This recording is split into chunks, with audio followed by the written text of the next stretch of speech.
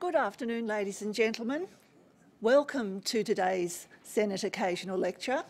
And in welcoming you, I'd like to acknowledge the traditional custodians of the land and pay respects to all Indigenous elders, past and present.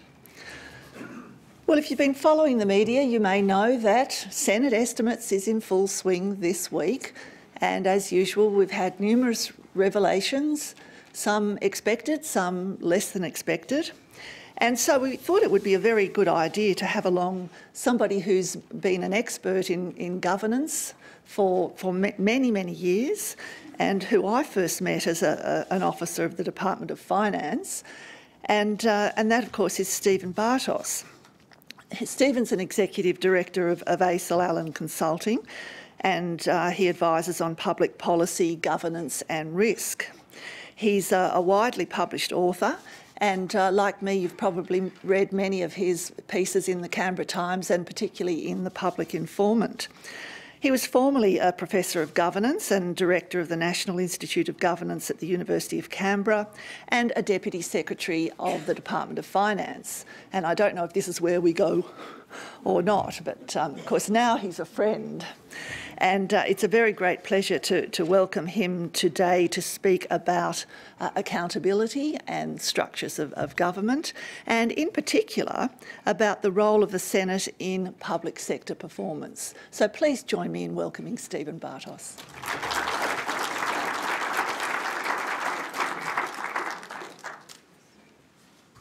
Thank you very much for that kind introduction. And I'd also like to acknowledge the traditional Indigenous owners of the land where we are, pay my respects to their elders past and present, and pay respects to any Indigenous or Torres Strait Islander people who might be in the audience today. And can I assure you that I won't be getting into the day-to-day -day politics that are coming out in the estimates hearings. Those of you who uh, went to the uh, last last time's venue for this lecture, the main committee room. Uh, we'll get your fill of that. I'm told the Senate Finance and Public Administration Committee is there. So if you want some exciting estimates hearings, you can go along to that instead. And if by any chance you're a senator who was meant to go to that hearing and you've strayed into here by mistake, stay, because it might be fun for you. Because I'm really focusing on the role of the Senate in improving public sector performance. Gary Banks, who's Dean of the Australian and New Zealand School of Government, former head of the Productivity Commission, observed in the Garran oration in 2013 that Australians have been losing trust in their politicians and their public servants, and that was also covered in the last Senate Occasional Lecture by Professor Andrew Markus, who looked at trust in the political system now, I'm not going to look at politicians. My work has been in public sector governance and concerned primarily with ways to improve the performance of the public sector. And that's why I want to address the pivotal role that the Senate can play in improving those services. But it's not to ignore trust. Performance and trust are inextricably related. One of the ways organisations build trust is to deliver the services that people want at the price that they want consistently and reliably it's why, sadly, organisations like McDonald's come up uh, very frequently in the lists of companies that people trust because of the reliability and consistency of what they deliver. In the public service, what that means is delivering good advice to ministers, means delivering quality services to the public, means delivering effective and well-administered regulation. Let's take it as a given that public services are important and we want them to be better. They're, they're hugely important to Australia. If we look at the 2014-15 budget papers, we see that payments made by the Australian government are 25.3% of the gross domestic product of Australia. That is, they're around a quarter of all of the goods and services that we produce. And despite what you might hear in the media about budget cuts, over the whole of the forward estimates period, there's a decline that's very small indeed to 24.8%, so only 0.5 of a percent.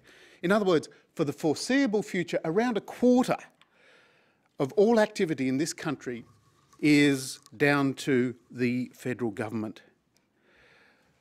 The payments it makes go to things like social security, health, education and defence. And by mentioning those four, I've already covered two-thirds of the entire budget. But there's numerous other functions that government delivers, and it's in all of our interests that those are done well. Now, we do elect governments to make sure those are done well, and politicians, political parties compete for our votes on the basis of promises, and we decide who we think will make the best choices about their spending, taxing and regulation. But all of the literature on governance, the field that I work primarily in, tells us that you can't rely on managers alone to deliver good results. A system of accountability that holds managers to account for performance is vital. so that, that applies absolutely in relation to the private sector. Uh, there, there's a, a, lot of literature on uh, corporate governance worldwide and in the uh, published copy of this speech, which you'll be able to find online after this presentation, I've got some references to that. Uh, in Australia, the Australian Stock Exchange's Corporate Governance Council suggests that board has to be responsible for overseeing management's implementation of the entity's strategic objectives and its performance. So in the private sector, a good board will devote much of its time to quizzing the CEO and management on how they're performing. And good CEOs and managers welcome that. By being put through the wringer, by being given a really tough time, they are aided to deliver the best results possible. A tough board that asks really difficult questions helps the company succeed. And in the commercial sector, obviously, that's a, that's a priority. It, it helps you avoid bankruptcy, it helps you avoid financial ruin. Public sector doesn't face that kind of commercial pressure and incentive. It's, by definition, not part of the for-profit sector. Public sector bodies have a wide variety of different objectives. Achievement of those can be difficult to measure. And a self-interested minister or public servant allowed a free choice between meaningless waffle versus genuine performance information to hold them to account. It's more likely to choose the waffle over the, the uh, meaningful performance information. And that's a well-recognised problem. Uh, it's, it's, a well-recognised problem in all of the literature on public sectors. Um, and they're overcome as a problem through effective institutional arrangements for accountability. And in Australia, chief amongst those is the role of the Senate. The Senate can be highly effective in ensuring the public service is held accountable for performance, but its ability to do so is limited by the support and information it receives. And in respect of those limitations, there's room for improvement, and that's what I want to concentrate on in this lecture. In the book I wrote on uh, public sector governance in Australia, I characterised accountability not as a set of rules but as a relationship. There has to be a personal body who's held accountable and a personal body to which they account. In the Australian public sector, our accountability from the public service goes through ministers who are then accountable to the parliament, but there is a duty that's recognised in legislation and in policy for public servants to justify their actions directly to the parliament. And in this week in particular, as the legislation committees conduct estimate series, hearings, that accountability relationship comes to the fore. The Senate's capacity to exercise its role in the relationship has had ups and downs over the past 115 years.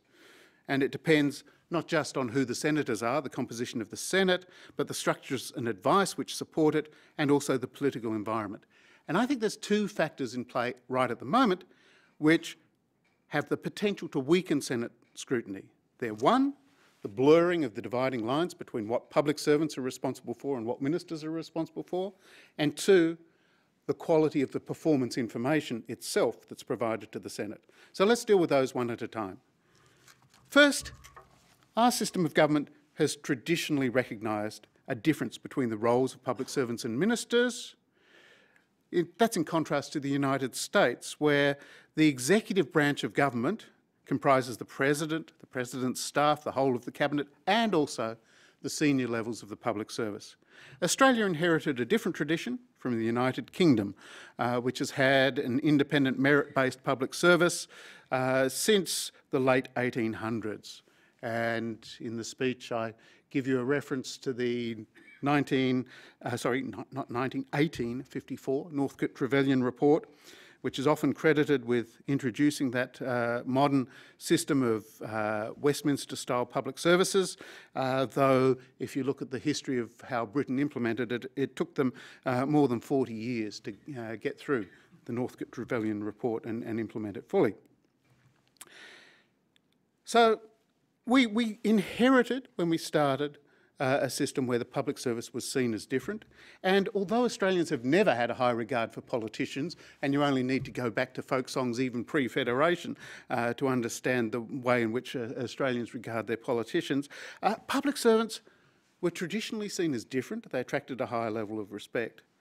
However, in recent years, the distinction between the public service and ministers has diminished, and as a result, in the polling, uh, public servants and ministers uh, are starting to trend towards the same levels of esteem. Now, in relation to that, uh, the Senate uh, has to have a role in holding public servants to account. And I think it's important to reflect back on what Senate estimates hearings are. They've always had an element of political theatre. They've always had an element of parochial self-interest.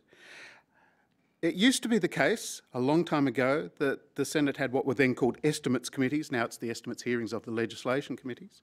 Uh, and finance, the department I was working for at the time, provided advisors who actually went and sat with the committees, the estimates committees of the Senate, to assist them in understanding budget estimates. And in 1987, I was appointed to head the communications section in the finance department that dealt with the communications portfolio. I knew all of the details of expenditure in that portfolio back to front and brought along a briefcase full of materials. And I had a really good lesson in political realities from doing that. I'd prepared really diligently and none of the senators wanted any of the material I'd prepared. My main recollection of that hearing was it was concentrating very firmly uh, on, a, on a quizzing of the ABC about the number and the timing of the broadcasts of horse races in Tasmania. And, and the senator concerned, I think, thought that the horses in his state were not getting a fair go from the ABC. And, and, and indeed, Tasmanian senators are famous for pursuing the interests of their state. So, look, although I'm about to discuss problems with accountability systems and how the Senate uh, can actually hold the public service more accountable for performance. I don't want you to think, think that I'm, I'm being nostalgic and looking back to a day when politics never came into it. It always has, always will, because the Senate reflects, as it should, a wide variety of interests. But look, some things have changed since 1987 when I first got involved in that way. Interestingly, up until the public sector reforms of the 1980s, uh, the public service asserted to itself a right to do things independently of government. Ironically, this gave public servants themselves a high degree of political freedom. Uh, finance, uh, for a couple of years, prided itself on employing both the ACT president of the Liberals and the ACT president of the Labor Party because it proved they were even-handed. And, and I should here disclose that way back at that time, I was active in the Labor Party. I, I, did allow my membership to lapse after I was appointed to the Senior Executive Service in 1989 because I took the view that it was difficult uh, to uh, participate in politics when you're at a senior level in the public service. I also should say that having worked at a senior level for the Hawke, the Keating and the Howard governments, I saw successes and I saw failings in all of those governments. So uh, today I'm pretty much agnostic. I'm not affiliated with uh, any of the major parties or, uh, or lean towards them.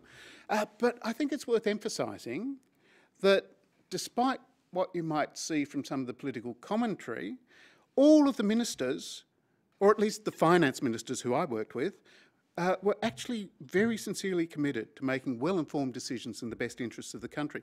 And, and I'm still proud of having uh, advised John Fahey as Finance Minister uh, that helped him uh, to the best ever track record, as measured in budget terms, in uh, managing government expenditure so as to achieve government finances.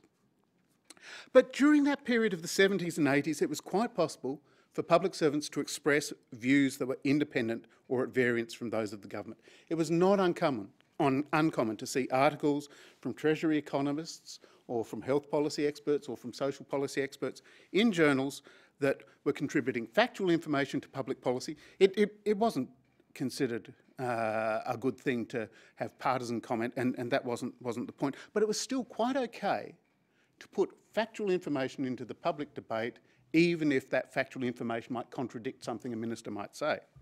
That's been overtaken by a new approach, where it appears de facto that public servants say very little, and when they do say anything, it's to explain government policies. And in fact, that's the guidance that they get from the Australian Public Service Commission. In a similar vein, it used to be that Senate and other parliamentary inquiries into questions of public administration would hear from a range of departments and agencies about their views. I remember that was the case, for example, when we were introducing changes to uh, the Audit Act 1901 that became the new Financial Management and Accountability Act. Wasn't my area at the time, but uh, uh, the people uh, concerned with it uh, had various uh, hearings where different departments expressed their own views and they weren't always uh, very uh, favourable towards finance about the proposed changes that were coming in place. Today, we see only one government view expressed, and we saw that with recent Senate inquiry into new regulations under the Public Governance Performance and Accountability Act, where the only dissenting views that were expressed to that inquiry came from the Public Service Commission and the Auditor General, that is, bodies that had a statutory independence. Otherwise, it was just one government view. Um, and that's despite what I know are significant misgivings that many people in departments and agencies have about the rate of progress and some of the detail of those regulations. Now, that is not necessarily a bad thing. We have seen a greater identification of public servants and ministers, but that is, is in some ways a plus. It's the trade-off that we've made in terms of going to a system of greater responsiveness. The days of public service mandarins who ruled vast empires of bureaucrats and thought ministers were just a temporary inconvenience are gone, and very few people would welcome their return. Greater responsiveness is a good thing. It's surely better for government policies to be determined by the elected politicians than by unelected public servants. But there is a trade-off. Responsiveness inevitably means public servants and their work are closely identified with the priorities of the government of the day. They, they're not pursuing any separate identified uh, role. And that creates a difficulty in practical terms for the workload of Senate committees. Because public servants are closely identified with ministers and government policy, it's really hard for a government senator to quiz a public servant about performance. If by doing so you either deliberately or even worse, accidentally reveal a problem, then that reflects back on the minister who's responsible for those public servants. Less of a problem, and we, are seeing that with the estimates hearings going on this week and next, less of a problem soon after a change of government. This is, you can always say, uh, we've, we found a problem, but it's not the current minister, it was the other guys. Uh, but uh, the longer a government remains in office, the less likely it is that any, that, uh, sorry, the more likely it is that if a senator raises problems, they'll be sheeted home to the, uh, a government decision, which means that in practice, only half a committee feels free to ask searching questions. So that diminishes its capacity to improve performance. I think there's some answers, but we'll get on to answers after the second part of the diagnosis, and that is incomplete, sometimes incomprehensible performance information. We have an accountability system that relies on the provision by the public service of clear and reliable performance information to the Senate. Now, 10 years ago, when I was teaching at the ANU to an executive cohort from the public service, I distributed for amusement a fictional confidential briefing on how to escape accountability. I've attached it as an appendix to this lecture and it contains uh, six pieces of good advice which uh, include make sure your performance reporting structure changes each year, that makes it impossible for you to be held to account. If possible, change the descriptions every year. If you can change the actual objective without anyone noticing, make sure it's changed to one easier to achieve and keep it vague. If you can't change the outputs and outcome structure, at least use different performance criteria each year. If you've been forced by difficult senators into providing performance measures that are consistent, ensure they're impossible to measure in any one year, make sure they cover a decade. Never be res fully responsible for something, only contribute, it, contribute to it. That way, if it's a success, you can say we did it, and if it's a failure, you can say we only contributed a little bit. Uh, make sure that you reallocate responsibility for who delivers the, the outcomes to a different part of your organisation every year. That way no one can actually be held accountable for it. And if all else fails, change the managers entirely. New management has two years in which they can blame the past administration, and by the third year there's an election anyway. Now, I thought this was just for amusement, and, and, and everyone here has, has had a laugh. The sad thing was that the course participants said, that's not fiction, that's a description of the way we operate. and look, if you look at the literature on accountability, from an academic perspective, not much has changed, and I refer here to the excellent work that uh, Richard Mulgan has done. He's written extensively and perceptively on the topic. But the, the sad thing is that uh, if you change a couple of the case studies and a few of the names, some of what Richard uh, wrote 10 years ago could apply equally well today. The former Management Advisory Board, which was the key advisory body on, on public administration, uh, issued a report on accountability in June 1993, uh, which remains a foundation document on this topic. It's still referenced by the Public Service Commission in its guidance to public servants that it provides online about how to remain accountable. And it calls for management information systems that deliver good program performance information. But that was 20 years ago and we are still struggling to account to, for performance. So last year, the ANAO, the Australian National Audit Office, issued a report called the Australian Government Measurement and Reporting Frameworks Pilot Project to Audit Key Performance Indicators, which looked at 31 KPIs, found that five didn't actually measure anything, uh, or at least they, they didn't meet the definition of measuring impacts and were descriptions of activity instead. Of the remainder, only one of them met the criteria that they'd set of being focused, understandable, measurable and free from bias. Now that's an important stream of work for the Audit Office and it's been carried on, it's been continued and, and this is a, a really good thing. But as noted in its report on that work in February 2014, uh, let me quote, the continuation of the pilot project observed little change within the guidance promulgated by finance and observed that agencies' implementation of performance measurement and reporting requires further development. In other words, progress has been very slow. Now, I think it would be wrong to conclude from this that you cannot measure public sector performance because experience shows that where agencies put their minds to it, as they have been forced to from time to time, they can and they do develop clear and measurable objectives and effective performance indicators. There are other explanations for why we've taken one step forward and two steps back. Let's look at some of those since that period uh, of the last 20 years. The 1996 National Commission of Audit was actually really strong on performance information. It said that it was critical in assessing whether policy goals have been achieved and how effectively the public sector has performed Unfortunately, one of its recommendations for better performance reporting was that ministers should report against annual plans that explain strategies for restructuring and reducing costs. Most of the focus of that 96 Commission of Audit was reducing costs, and that focus was seen as too extreme. Not much of it became official policy. However, one of the things that did happen was that in the 96 and 97 Commonwealth budgets, there was a heavy emphasis on privatisation contracting out, and as a result of that, some of the reporting mechanisms, such as mandatory evaluation that the government used to have, were dropped. Now, it's based on a fair enough logic, even if it's been overtaken by events, that if you can put everything out to the market, the market will decide whether it's performing well or not, so you don't need to evaluate. While I say that's internally consistent logic, it also is irrelevant logic for those activities that you, you decide you do not want to put out to the market. And it pretty quickly turned out that the government didn't have an appetite for marketisation of everything. Another factor was the reforms that I was responsible for in 99-2000 to put the budget onto an outcomes, outputs and accruals basis.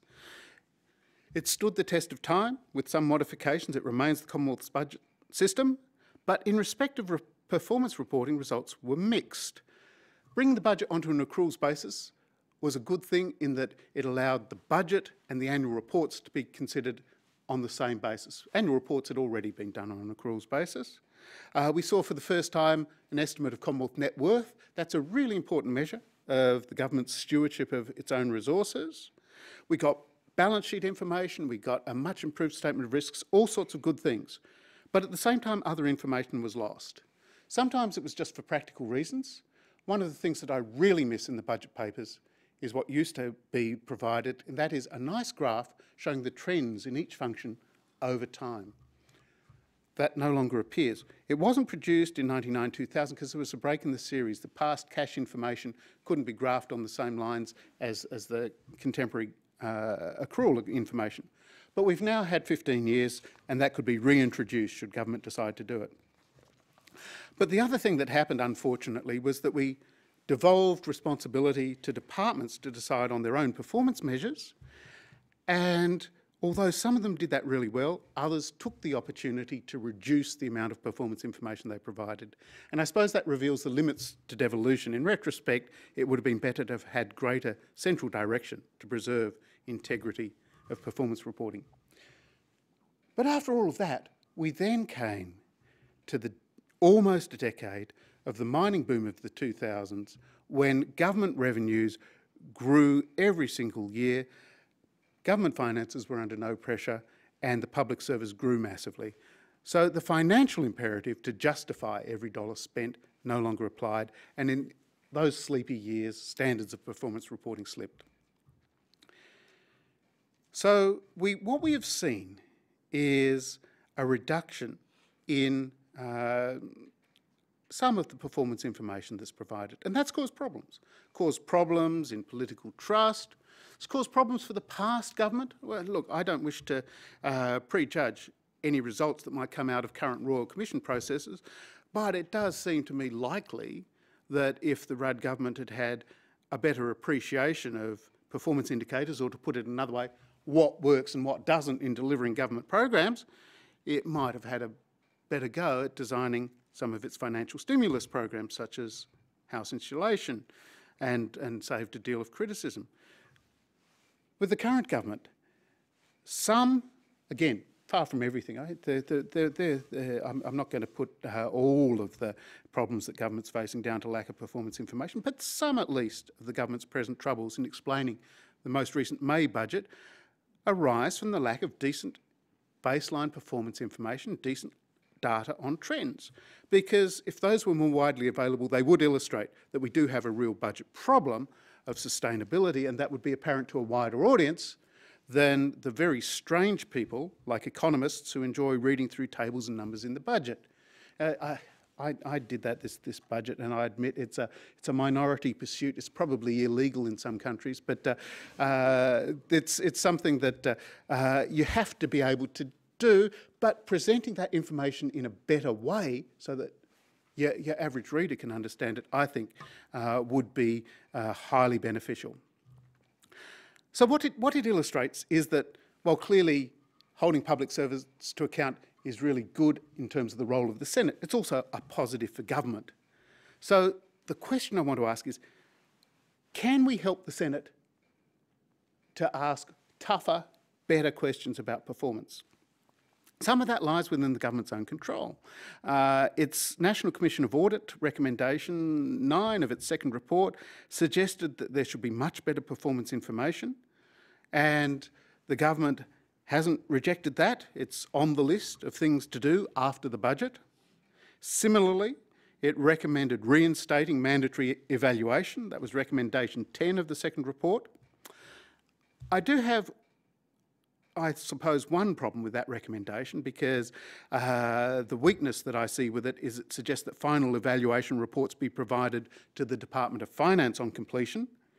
You can't help but think that the Department of Finance, which provided more than half the Secretariat, might have written that one, uh, because that approach means that the evaluation could conceivably remain buried. A much better option, to my mind, would be for the evaluation reports to be published on completion, which would enable not just the Senate, but any members of the public to be much better informed. And remember that it's public money that's being used for the evaluation itself, as well as public money and the expenditure of public money that's being examined by the evaluation. So, so it makes sense to me for it, it to become public. Um, but with that proviso about that recommendation, it seems to me there's no earthly reason why the government shouldn't respond anything but favourably to those National Commission of Audit recommendations about greater transparency. I also think there could be better support to the Parliament itself in understanding the estimates in the budget. I did a report to the Business Council of Australia on budget integrity, which was published as an attachment to their 2011-12 budget submission. In it, I noted that you could task a parliamentary budget office not just with costing proposals, but with fiscal sustainability reporting. Are our government finances sustain sustainable over the longer term? You could get it to do evaluation of major areas of spending that are difficult for government to address internally, possibly because they cross too many boundaries, uh, possibly because of other uh, difficulties. It could look at tax expenditures, that is, all of the tax concessions that are incorporated in the budget, and also, very importantly, I suggested it should play a role in explaining and commenting on the budget, which is far more of a black box than it should be. And look, in the end, the, the PBO has largely been confined to the costings role.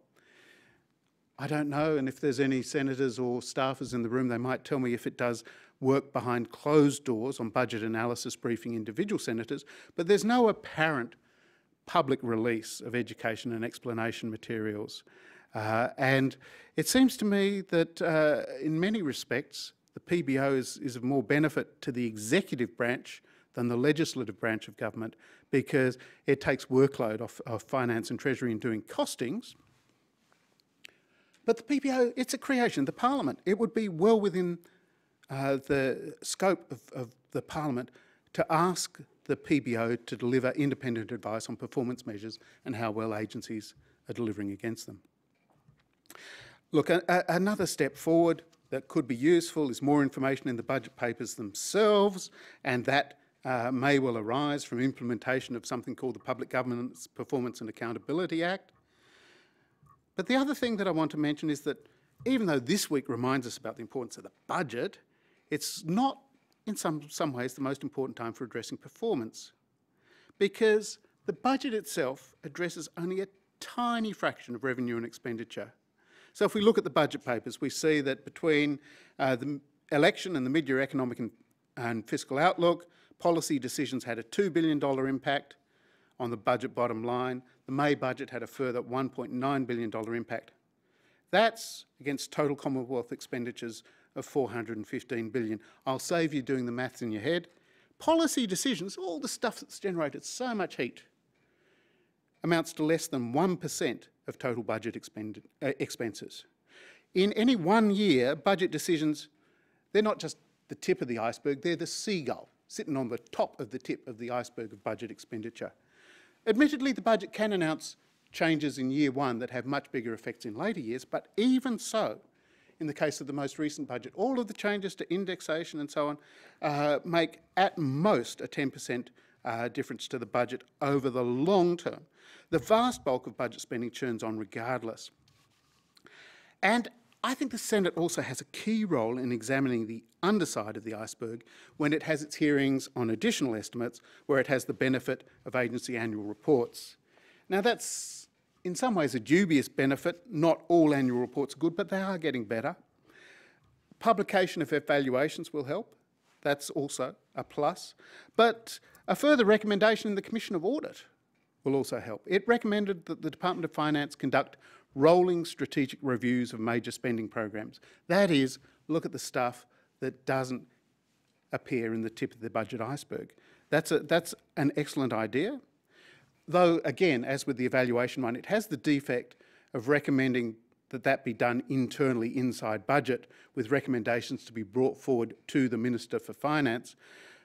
Having said that, if the government agrees to that, then uh, it will be an option for the Senate Finance and Public Administration Committee to ask the Department of Finance what it's reviewed, and then it can send people off uh, in the other legislation committees covering the, the relevant programs to, to do a little more digging.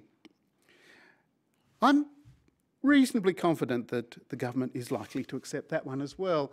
Uh, unfortunately, after I'd done this lecture, uh, Mathias Cormann, I see in the newspapers this morning, has announced that there will be a further statement later this year on governance in the public sector. Uh, but uh, I, I, could hope that uh, that statement on governance will pick up some of these recommendations. Having said all of that, that brings us back to the elephant in the Senate committee room, and that is, how can you do all of that in a way that genuinely addresses performance rather than it turning into a political circus? I deliberately use that metaphor with the elephant and the circus, so you can imagine the Senate committee room with a great big ball and an elephant on, on top of it. And it seems to me that there is a possible answer. Something that the Australian government lacks, but does work in other jurisdictions, is a very clear statement from government as to the matters of public administration for which government is responsible and the matters for which the public service is responsible. And making, making reference to uh, the distinctions that are made in the guidelines for official witnesses about the distinction between policy and administration is no substitute for a formal statement both on the part of the government on the one hand and the public service on the other. And we needn't look no further than New Zealand. Uh, it was a leader in codifying statements of expectations and intent, which have been used with, with some success in uh, Australian government agencies, but, but only in some and uh, uh, not necessarily as, as rigorously as New Zealand, but, but they've moved on from there. New Zealand, while retaining some of that approach, uh, has identified key result areas which clearly allocate responsibilities and accountability. So Prime Minister John Key has set out 10 priority results and targets to be achieved, and the public service reports separately on its progress against doing that, both as a whole, through the State Services Commission in New Zealand, and through individual departmental reports. And from the outside, uh, that approach seems to be working. It seems to have helped that country in addressing its budget problems. Uh, and uh, sad as it might seem to admit that New Zealand is doing something better than us, uh, uh, this is uh, something that we could potentially learn from. There may be practical barriers. Look, some ministers actually prefer not to have clear statements of roles because it gives them greater freedom with, which to operate. There are some activities of government where there's a genuine overlap uh, between the role of ministers and public service. Things like the conduct of economic policy or the design of regulation or, or things like that. Uh, but they're only a small fraction, a tiny percentage of public service activity. Most of the work of the public service is in administration of programs or administration of regulation. So if we try and get it perfect for the entire public service, we will fail. But it is possible to get, I think, through a rough and ready approach with some exceptions, much greater certainty about who is responsible for what. You could conceivably have a cascade downwards of uh, a statement from the Public Service Commissioner, um, supplemented by additional information from each agency, or if the Commission of Audit recommendation, which is still to be addressed about the future of the Public Service Commissioner, uh, overtakes that, whoever uh, exercises that role. And look, amongst the beneficiaries would be ministers themselves who already struggle uh, to cope with the workloads that they have and have been struggling with that for a long time. And let me outline what the end result might be. It could be a committee hearing about the estimates where a senator from either the government side or the opposition side or an independent senator questions of public servants about matters that are very clearly the responsibility of the public service, nothing to do with the minister. And problems are identified. It would be wonderful if we could get a ministerial response along the following lines. Thank you, Senator, for helping identify my department's difficulties in administering this program. It's great news. We can deal with the problems. It'll help improve public service for all Australians. That would be, that would be an ideal. Minister could say, uh, as, a, as a consequence of that, I'm terribly shocked and heads will roll, or something even better, would be if they said, heads won't roll, we need those heads because they contain public servants' knowledge about how to avoid those same mistakes in future. They've learnt valuable lessons. Well, look, I don't want us to get too carried away or too optimistic. Senate hearings will inevitably contain politics because, remember, first and foremost, senators are politicians. But I do think that a, a much clearer and a publicly available statement of what public servants are really responsible for coupled with performance information that holds them to account for that, will at the very least be an improvement on what we have today. And so on that note, I'm going to go over and join the clerk and take any questions that we might have. Thanks.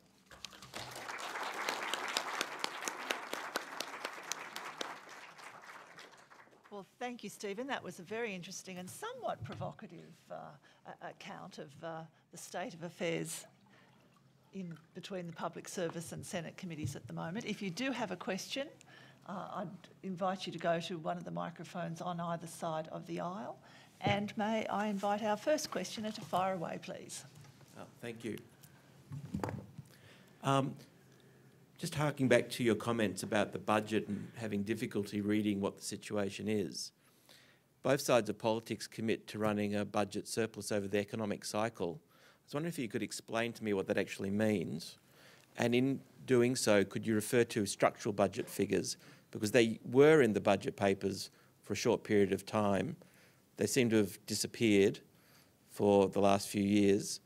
Um, and I was wondering if the Commission audit looked at structural budget figures at all in their recommendations. Thanks.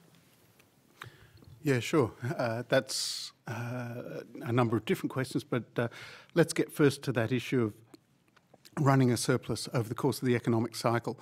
Traditional notions of uh, the economy are that uh, we go through periods of uh, growth and then decline. interestingly, in Australia, we've gone through a period now of, of 23 years of nothing but growth, but even so, some periods the growth has been stronger than others. And the idea of maintaining the budget in balance over the course of the cycle is that uh, when times are good, you save some money, and when times are bad, uh, you can uh, then have the ability to spend some more money. So, so maintaining the budget uh, in uh, either in balance, that is on an even keel, or, or in, a, in, a, slight surplus over the course of the cycle, enables you to, uh, in effect, deal with any economic downturns that might come much more effectively.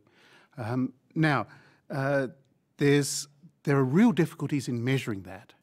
So economists who look at uh, uh, what is the structural state of the budget have to take account of uh, what might have happened without government spending, uh, what's happening in the rest of the world, and and uh, working working that out is is in fact uh, an incredibly complex thing to do, uh, and in Australia it's it's made been made a little more difficult by the fact that uh, with that really long period of economic growth, um, what what really is the structural state of the budget? To illustrate that difficulty, Treasury at the time of the global financial crisis argued that we needed a lot of government spending in order for us not to dip into uh, a recession. In effect, what they did was use government spending to build a little bridge over the chasm. And, and that was uh, uh, seen as, as a desirable thing in the Treasury documents at the time. Uh, it was, it's also since been criticised uh, by what was then the opposition, now the government, for having done too much of it. Uh, so, so, so working it out exactly is incredibly difficult. I suspect that's why uh, we don't have as much information about the structural state of the budget uh, in the budget papers themselves.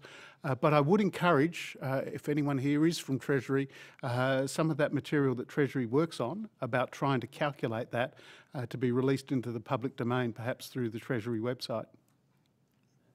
PBO did a paper on it last year. PBO has done a paper on it as well, yes, you're quite right, and that, that is publicly available. Uh, uh, look, I, I, think the, the other thing to, to mention is that uh, uh the budget uh, at the moment isn't in a state of uh, real difficulty short term. the thing that is worrying policymakers is the longer term effects of trends in particularly health spending and trends in social welfare expenditure as the population ages. Question on my left. Thank you. My question relates to the role of the Senate in relation to accountability for delivery of services. Government is responsible for delivery of a wide range of services. Many services that used to be delivered directly by the public sector are now contracted out to the private sector. And of course, a wide range of issues arise in relation to the way those services are delivered by the private sector. What should be the role of the Senate in pursuing accountability for delivery of services where they're delivered by the private sector, should it be confined to questioning officials on their management of the contracts? Should the Senate go further and seek to call private sector contractors uh, who are delivering services under contract?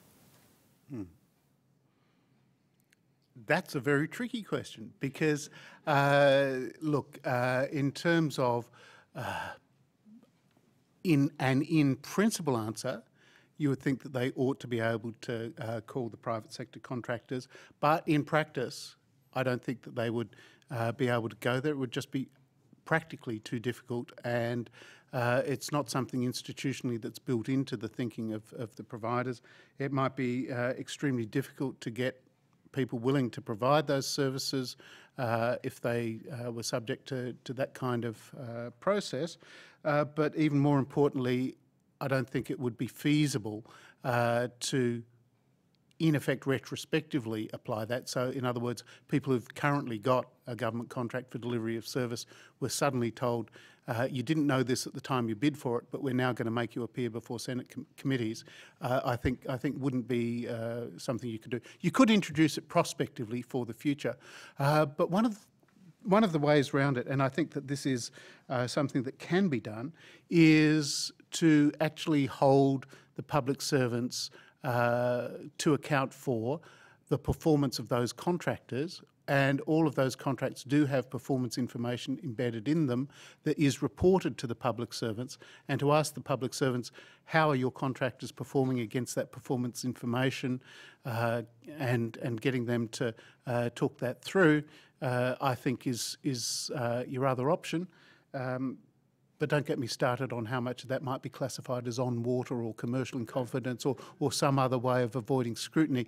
Uh, that, that's an increasing problem uh, as well. Uh, and, and that, uh, I think, I think is, is an unresolved question where uh, I, uh, to be honest, think that the Senate does have a role in, in asserting um, the, the, the, commercial in confidence, for example, um, excuse uh, for not talking about the performance of your contractors uh, tends to fall apart in reality because most of the contractors have agreed that that can be made available. So um, uh, it's it's not really commercial in confidence. That's just a smokescreen. So so I think I think there is a, a, a, proper and important role for the Senate in quizzing about that. But you've been you've been observing these things for a long time yourself, haven't you? So so what's your view?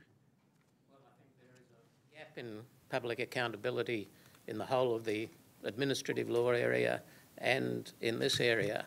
And my own view is that public contracts for performance of public services should include provisions to ensure proper accountability. Mm. May I add something? um, on a technical uh, um, basis, the estimates process itself is limited under the standing orders to senators asking questions of ministers and officers about the items of expenditure. Mm. But that's only the estimates process. In every other mode of operation, Senate committees have the power and the ability to call basically anyone before them. So if there was a, an inquiry into delivery of a particular service, there is no inhibition on the power of the Senate and its committees to call private contractors as well as government officers. Now, the reality, as we've mentioned, is that that um, commercial in confidence blanket that people hide under can be a um, can be a deterrent to the provision of information to the Senate for our benefit. Um, but, but there are some rules in the Senate about a requirement that if you're going to make a commercial in, confidence, in confidence claim, you need to provide a, a, an explanation of the actual harm to the public interest that will, oh, and in, in that case, what commercial harm will result from the um, disclosure of the information. And in fact, the Auditor General has been working for many years on uh, government contracts contracts for provision of services um, to ensure at the behest of the Senate that they don't contain unnecessary confidentiality provisions that would prevent the provision of information to Parliament. So I think there, there are some solutions there. But it's not my lecture and I'm sorry.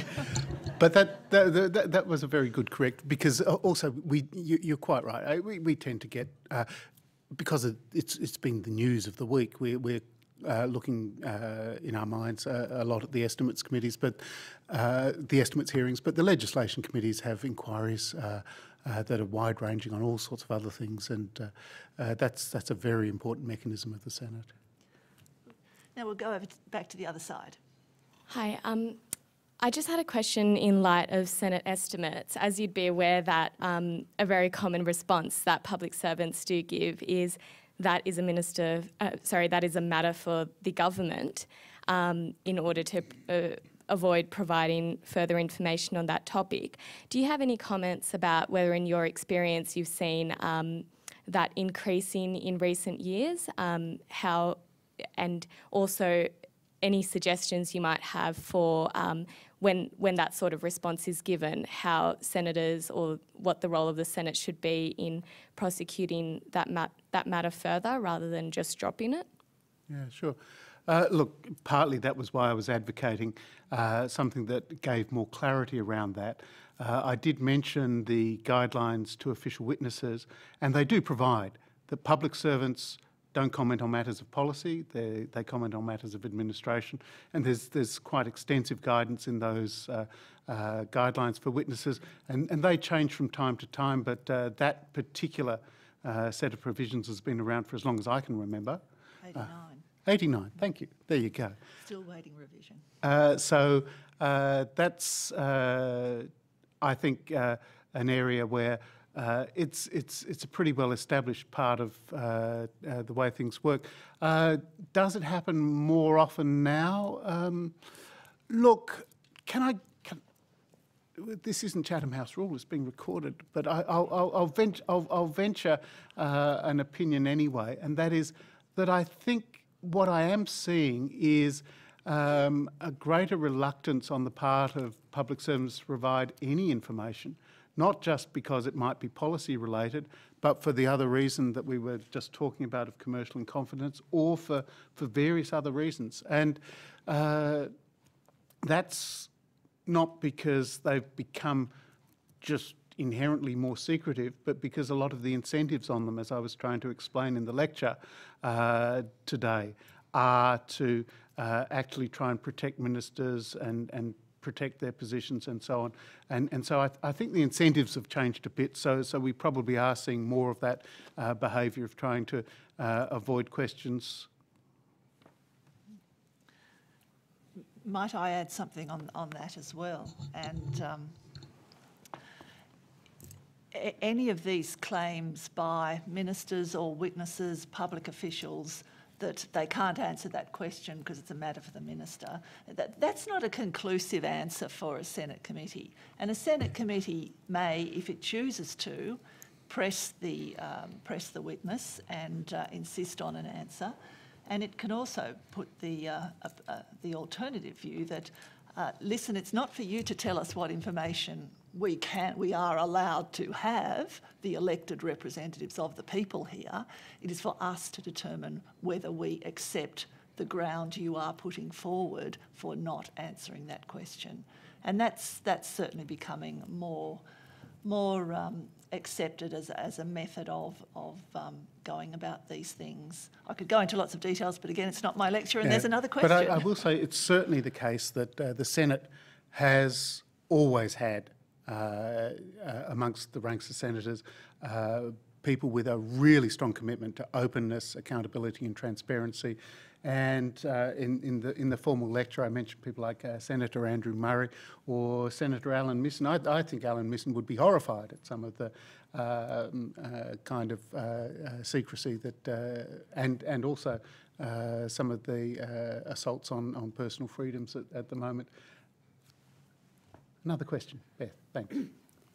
Thanks. Um, we've focused very much in this in, in your talk, thank you, and in the discussion about um, accountability around public administration. Um, but that still leaves us a long ways, a long way away from any accountability for real outcomes. Uh, and um, in the news this week, we see that Australia is, is now um, almost equivalent to the US in terms of obesity rates. Uh, at the same time that the government is abolishing the Preventive Health Agency and um, making it harder to go to GP, these sorts of things. I'm interested in whether you see any future where the Senate might take more of a role in actually thinking about uh, and taking some role in, in assuring some accountability around outcomes and whether that would be a good thing, whether it's um, uh, ever, ever likely to happen or what some other mechanisms for that could be. Yeah, absolutely. 100% the Senate should be uh, concentrating on whether outcomes are being achieved. And uh, that's was, was really one of the goals of uh, uh, a lot of the public sector reform of the late 80s, even uh, through to the mid 90s, uh, to try and get a greater focus on outcomes, better performance reporting against outcomes rather than just processes or, or activities that were being conducted.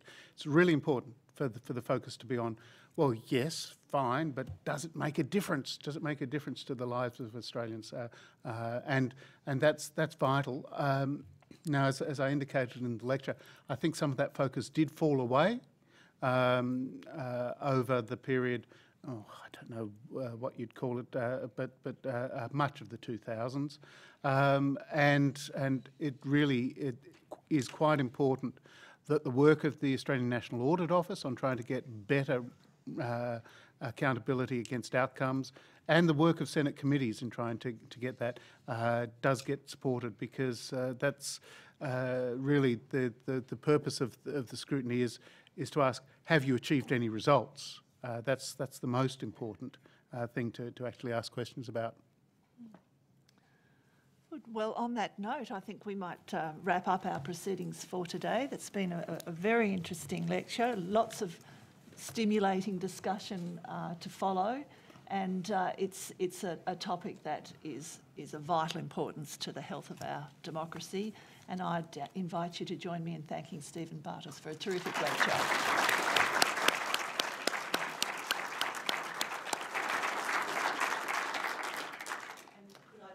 that um, we shall convene again on the 27th of June and I'd invite you to come and go blogging with me because we'll have two uh, bloggers talking about the impact on, um, of social media on political journalism and that will be Judith Ireland and Greg Jericho on the 27th of June. Thank you all for coming.